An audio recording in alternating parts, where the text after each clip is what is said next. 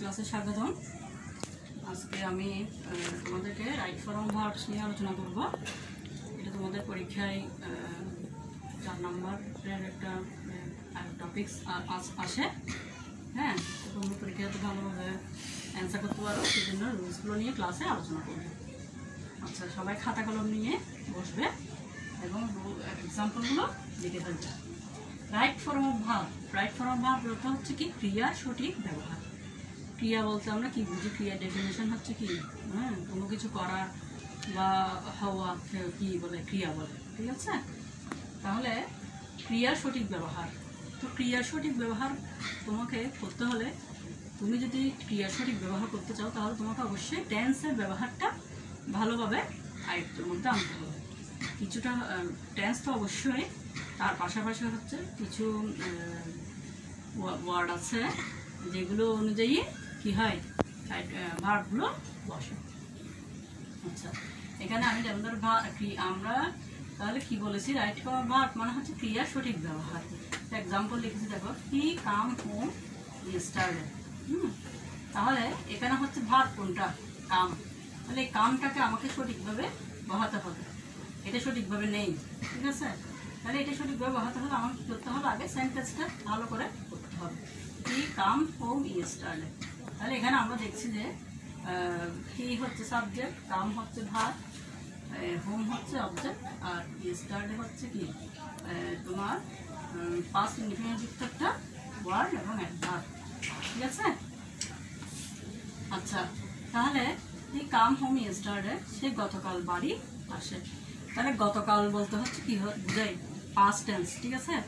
আর এখানে আমরা ইজিলি এটা বুঝতে পারছি যে এটা হচ্ছে পাস্ট ইন্ডিপেন্ডেন্ট টেন্স কেন পাস্ট ইন্ডিপেন্ডেন্ট টেন্স সাবজেক্ট আছে ভার্ব আছে অবজেক্ট আছে।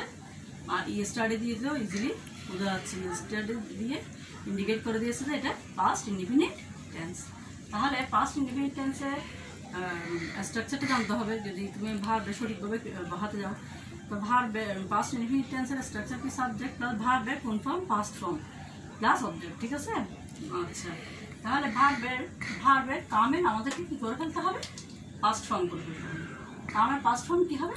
কেম কি কেম হোম ইয়েস্টারডে তাহলে এই যে এখানে লিখেছি, কি কামস হোম ইয়েস্টারডে এটা কি হবে? রং হবে। হ্যাঁ? এখানে আমি যদি কি কামস হোম ইয়েস্টারডে দিই, তাহলে সেটা আমার ভুল হবে? তাহলে তোমাদেরকে অবশ্যই মনে রাখতে হবে রাইট ফর্ম ভার্বের সাথে টেন্স কিন্তু একদম ওতপ্রোতভাবে জড়িত। অর্থাৎ তোমাকে রাইট ফর্ম ভার্ব জানতে হবে টেন্সের ব্যবহারটা সঠিকভাবে জানতেই হবে। আচ্ছা রুলসে চলে যায় হি অলওয়েজ মেক মিস্টেক্স তাহলে এটা কোন টেন্স আগে সেটা বের করতে হবে। He always make mistakes subject আছে, তারপর হচ্ছে মেক মেক আছে ভার এরপর অবজেক্ট হ্যাঁ? তাহলে এখানে অলওয়েজ এটা হচ্ছে অ্যাডভার্ব তাহলে এই যে অলওয়েজ তারপর অফেন ডেইলি রেগুলারলি তারপর হচ্ছে তোমার এভরিডে হ্যাঁ? এই ধরনের অ্যাডভার্বগুলো যখন থাকবে, তখন তোমাকে সেটা ধরে নিতে হবে প্রেজেন্ট ইনডিফিনিট টেন্স হ্যাঁ?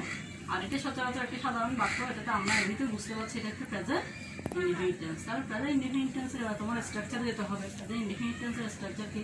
সাবজেক্ট প্লাস ভার্বের প্রেজেন্ট ফর্ম প্লাস অবজেক্ট আচ্ছা তাহলে মেক এর প্রেজেন্ট ফর্ম কি? মেক হ্যাঁ?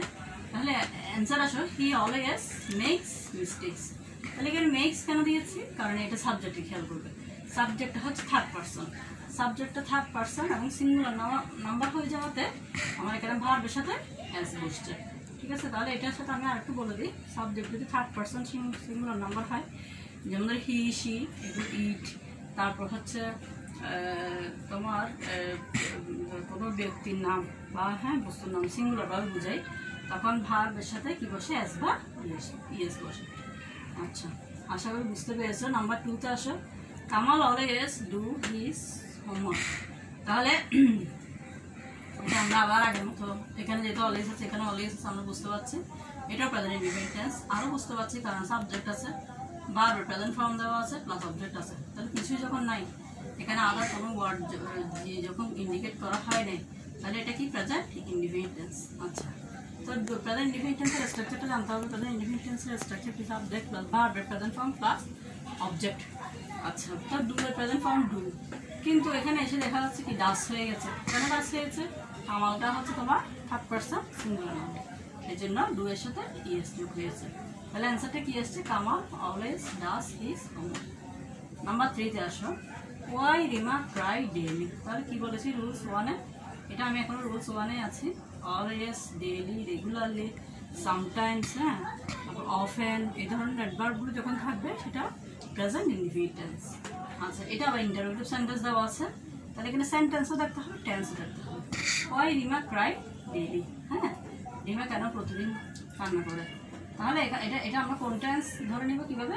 এখানে ডব্লিউএস কোশ্চেন আছে সাবজেক্ট আছে verb present form plus object তাহলে এই- এই ওয়ার্ডটা দিয়ে আমরা বুঝতে পারছি এটা কি প্রেজেন্ট ইনডিফিনিট টেন্স আর এমনিতে ভার্ব যেহেতু present form subject verb present form plus object দেওয়া আছে এটা এমনিতে প্রেজেন্ট ইনডিফিনিট টেন্স আচ্ছা।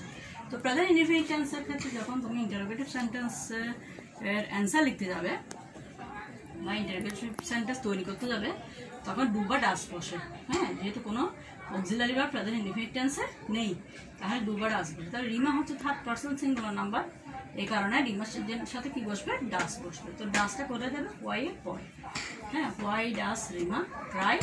এখানে ক্রাইয়ের সাথে আর কোনো কিছু বসবে না, যেহেতু এখানে ডাস বসে গেছে ক্রাইয়ের কোনো পরিবর্তনই হবে না। ডেইলি ঠিক আছে? এবার নাম্বার ফোরে যাই। আই নট লাইক হার এটাও কোন টেন্স প্রেজেন্ট ইনডিফিনিট টেন্স তাহলে আই নট লাইক হার হ্যাঁ তাহলে এখানে যেহেতু কোনো ভার নাই, আমাকে ভার বসাতে হবে।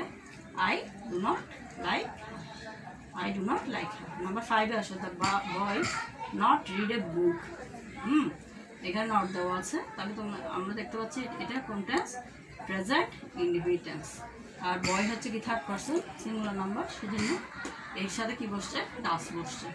ডাজ নট রিড ঠিক আছে, আমি আরও একটু ভিডিও সেন্টেন্স লিখছি।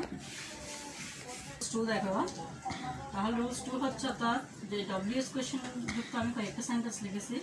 ঠিক আছে এটার নিয়ম হচ্ছে ডব্লিউএস কোয়েশ্চেন যুক্ত সেন্টেন্সগুলোকে যখন তুমি রাইট ফর্ম ভার্ব বহাতে যাবে, তখন তোমাকে ওই যে টেন্স অনুযায়ী চেঞ্জ করতে হবে এবং পার্সন অনুযায়ী তোমরা অক্সিলারি ভার্বগুলো বসাবে।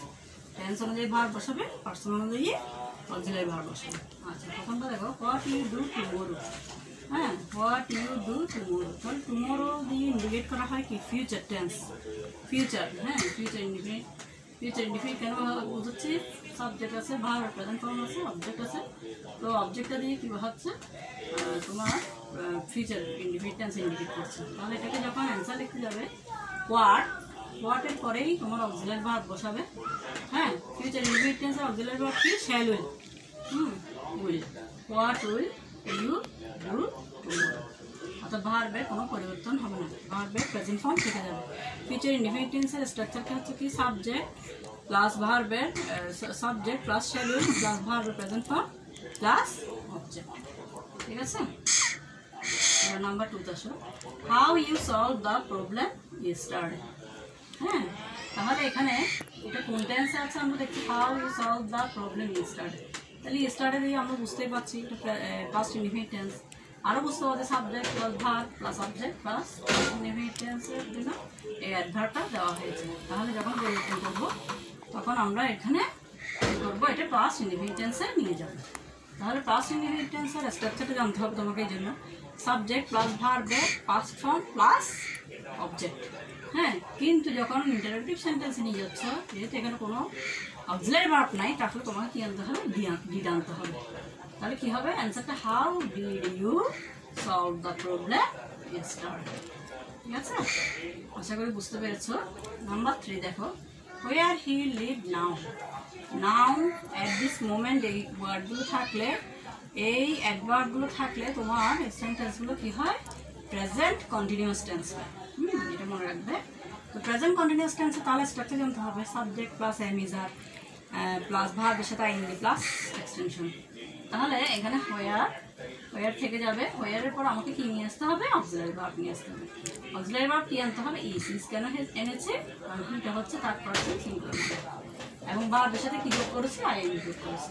তাহলে অ্যান্সারটা কি আসছে? Where is he living now number four দেখো who already go to the party এখানে এই রুলসটা নাম্বার টুতে দেখো অলরেডি থাকলে অলরেডি জাস্ট জাস্ট নাও হ্যাঁ রিসেন্টলি এই অ্যাডভার্বগুলো যদি থাকে, এটা হচ্ছে তোমাকে প্রেজেন্ট পারফেক্ট টেন্সে করতে হবে।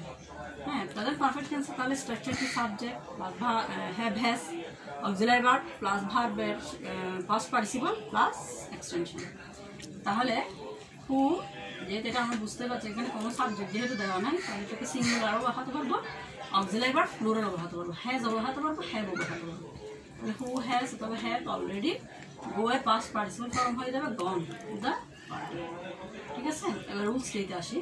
Who talk at this moment now তোমাদেরকে একটু বলেছি অ্যাট দিস মোমেন্ট নাও থাকলে এগুলো কোন টেন্স হয় প্রেজেন্ট কন্টিনিউয়াস টেন্স তাহলে এখানে হু থেকে যাবে হু এর পরে আমরা অক্সিলারি বা কী বসাবো? ইস বসাবো। কারণ ইস বসাইছি এখানে কোনো ইয়ে হয়নি। তোমার কোনো সাবজেক্ট যেহেতু নাই, ঠিক আছে? তাহলে এখানে আরও বসাতে পারব আমরা। হু ইজ অথবা are talking at this moment you swim now তাহলে ইউ ইউর সাথে কি বসে? আর বসে। হ্যাঁ ইউ অলওয়েজ প্লুরাল হ্যাঁ ইউর সাথে আর বসবে সুইমিং সুইমিংয়ে বাংলা লিখবে প্রবলেম হয়ে গেছে বাংলার সাথে এনজি প্লাস যেটা অবজেক্ট আছে সেটা। ঠিক আছে? শিক্ষার্থীর পরের ক্লাসে আমি আরও কিছু রুলস নিয়ে আলোচনা করব।